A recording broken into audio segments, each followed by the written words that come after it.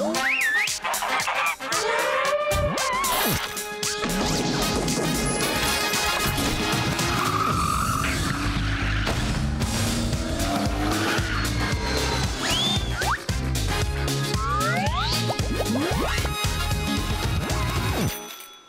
好，真的是很难想象哦，就说两边因为制度的不同，所以产生的价值跟观念差异这么大，这么现实啊！黄医师刚刚在补充，因为我有反思，是因为只要我一上哇哇这个节目，下面一定有留言，只要是讨论到婚姻啊，讨论到前夫，因为前夫比我们家有钱嘛，那所以下面一定会有这样子的一个声音的留言，是说。啊，你当初就是看人家有钱，所以要嫁啊，然后所以你现在这个苦果你就要自己承受啊。可是我我其实我看到这个，你就把看留言看完了，我都会看哦。那么多时间还会回他？哎，没有啊，时间是自己 自己分配的，不是吗？我就是做事有效率，安装。不是，可是这个这样子的，针对你的留言多吗？嗯，有一些啦，有一些。那但是我觉得就是说，这个让我有一个很大的反思，就是说。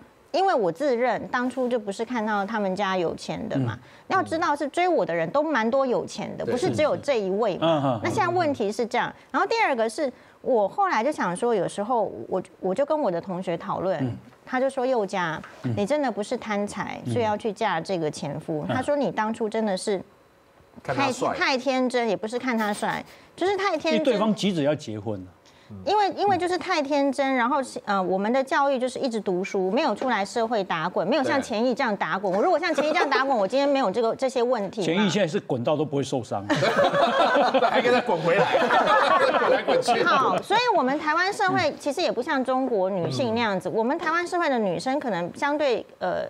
跟他们以前比起来，我们的经济更好，更被保护，所以我们可能很大的时间是在读书，然后是在那种温暖的羽翼之下。那结果的话，我们看我们是被什么喂养？我们是被琼瑶小说喂养。你就算不看琼瑶小说，你也是去看言情小说。台湾女生很流行看那些霸总啊、总裁的言情小说。可是这些 小说的粉红泡泡喂养你是什么呢？你你突然觉得那些高富帅的好像都是。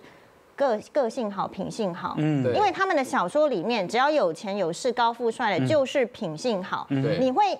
就像我们现在看到人，如果一个有钱的跟一个没有钱的人站出来，你几乎不会去怀疑那个有钱的人有可能是品性不好的哦。你会觉得没钱的人比较好像会 会去偷盗啦，还是怎样？这个是一种社会的偏见。嗯。然后我们我们没有体察，所以当我真的遇到一个，就是说我以为他条件好的时候，我会自自动的连接说，嗯，他品性好。嗯。那这真的做好事的都是土狗辈。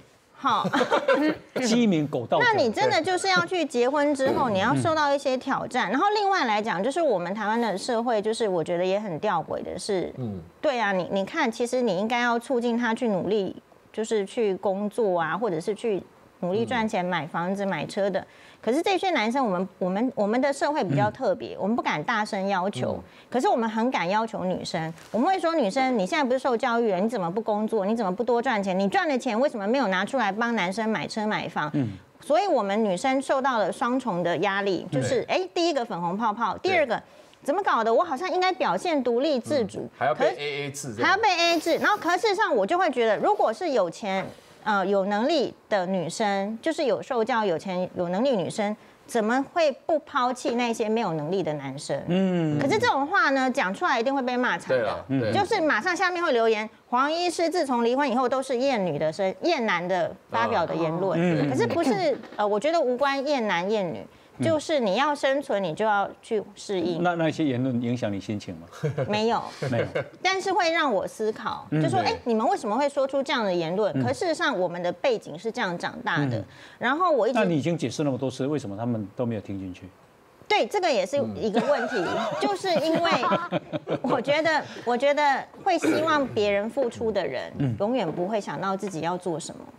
所以他会听不懂我在讲什么。哦，好好好，洪伟是来，同样这个女生啊写了这个这样的信给你，你要怎么回？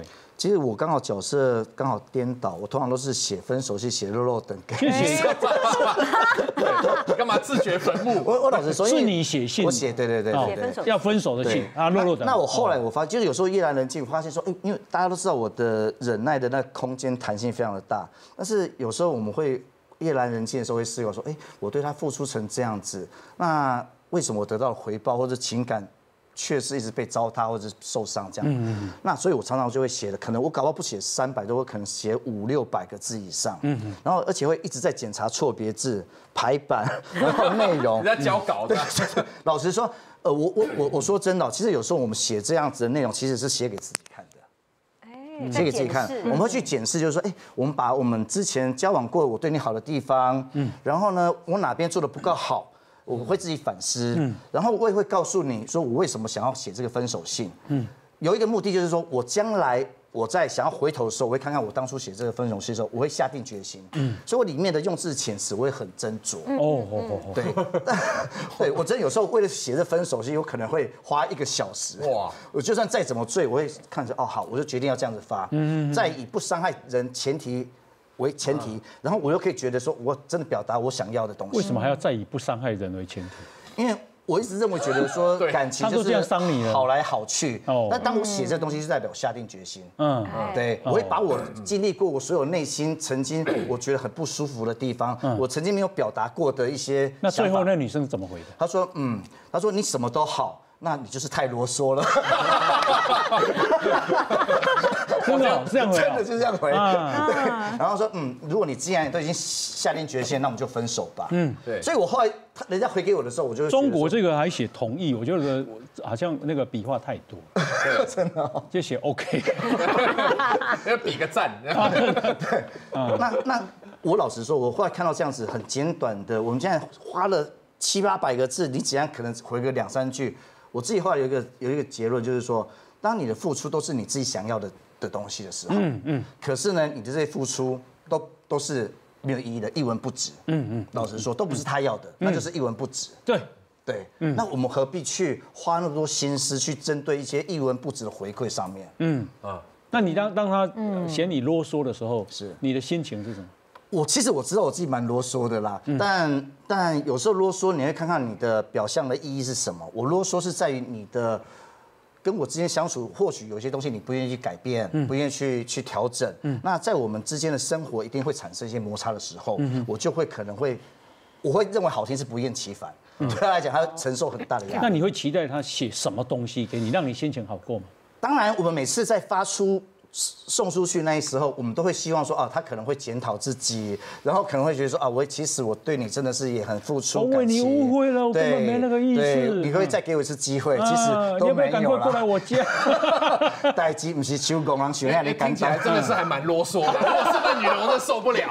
说你不要再传来了，拜托，告你骚扰。对对对对对哦。其实我我我我感情上面唯一，呃，不是说唯一啊，真的做的不好，就是在我在男孩子应该要大气，嗯，对，该放下就要放下，而不是这样婆婆妈妈，我太婆婆妈妈了。啊，现在还会婆婆妈妈？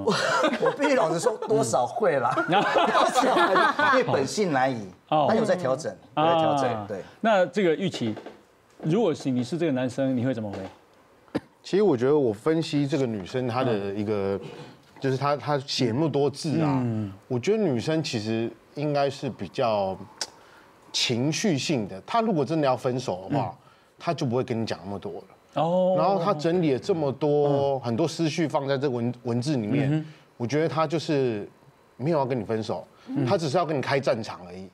开战场，对，就是他这个文章是一个战场，你如果笨笨的加入到里面，你就会被女生就是你就一来一往，一来一往，对对对对对吵不完了。然后通常，所以你你看到这个东西，他又不要分手，然后又要跟你打战，对，他只是可能需要得到啊你的一些抚慰啊，就言语上的，嗯，或是一些呃你的体谅或是认同。对。对，我觉得他打那么多字，女生嗯让我感觉，那你觉得男生怎么回会启发这个战场？